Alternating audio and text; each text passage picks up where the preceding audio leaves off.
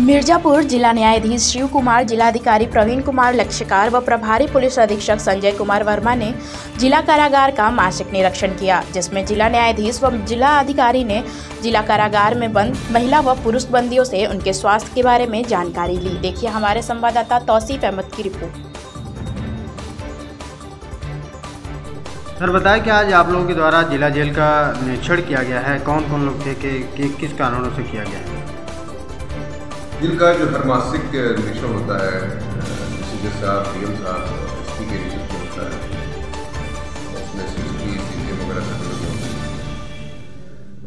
वो उसी क्रम में जो है मासिक निरीक्षण जो हो रहा था, उसमें कैदियों के वेलफेयर के लिए तथा उनकी समस्याएँ सुनने के लिए पूरी टीम गई हुई थी दल बल के साथ जो है।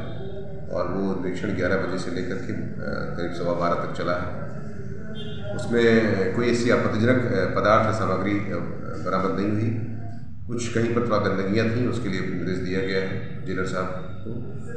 और शेष सामान्य रूप से ठीक ही ठाक रहा कोई समस्या नहीं रही। सर अभी नए नए अपराधी वहाँ पे शिफ्ट किए गए हैं उनको लेके क्या किस तरीके से माहौल पाया गया वहाँ? नहीं बिल्कुल माहौल जेल का माहौल बहुत ही शांत था। सभी ने कहा कि सर खाना समय से मिलता है। सफ़ाई सम समान रूप से ठीक ही थी। कहीं की महक आ रही थी तो उसके लिए निर्जित किया गया है। और वैसे ओवरऑल सभी कैदियों से लगभग हर बैरक में जाकर के बात की है एक आध दो लोगों की वेरिफिकेशन की समस्या थी और कुछ और समस्याएँ उनकी पर्सनल थी, जो समान रूप से रहती हैं, उनके निस्तारण के लिए प्रयास किया जा रहा है। साथ ही साथ जो है महिला बैरक का भी निरीक्षण किया गया और महिलाओं के बारे में बातचीत की गई। उनकी समस्याओं का भी समाधान करने का प्रयास किया जा रहा है।